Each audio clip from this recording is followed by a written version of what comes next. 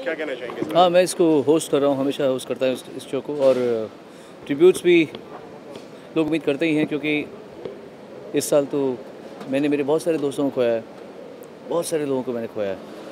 तो जब मैं इस साल एक साल पहले जब मैं दुबई जा रहा था तो मैंने सोच रहा था कि जब मैं वापस आऊँगा तो मेरे इतने सारे साथी निकल जाएँगे यहाँ इंडस्ट्री से।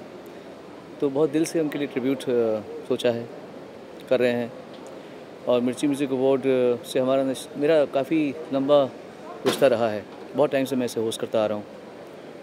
और ऐसे माहौल में ये फ़ंक्शन हो भी रहा है बहुत बड़ी बात है।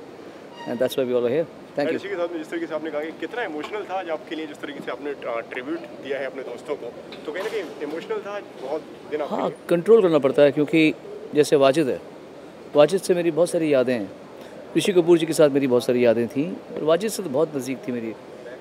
योगेश जी के साथ में मैंने पहली बार गाना गाया था मेरा जो पहला गाना था मुंबई में वो उनके लिए गाया था उनके लिरिक्स थे उषा खन्ना जी का म्यूज़िक था। ऐसे कई लोग हैं जिनके साथ मैंने काम कर रखा है राहत राहत इंदौरी हैं अनवर सागर हैं अभिलाष जी हैं कई लोग हैं। तो दुख हुआ कि इतने लोगों को अ, हमने खोया है।